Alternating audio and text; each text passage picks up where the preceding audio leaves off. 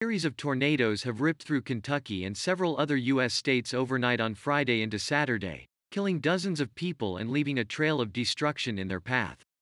Many people were trapped after a roof partially collapsed at an Amazon.com Inc. warehouse in Illinois state on Friday, local authorities said. I fear that there are more than 50 dead. Probably closer to somewhere between 70 and 100. It's devastating, Kentucky Governor Andy Beshear said on Saturday.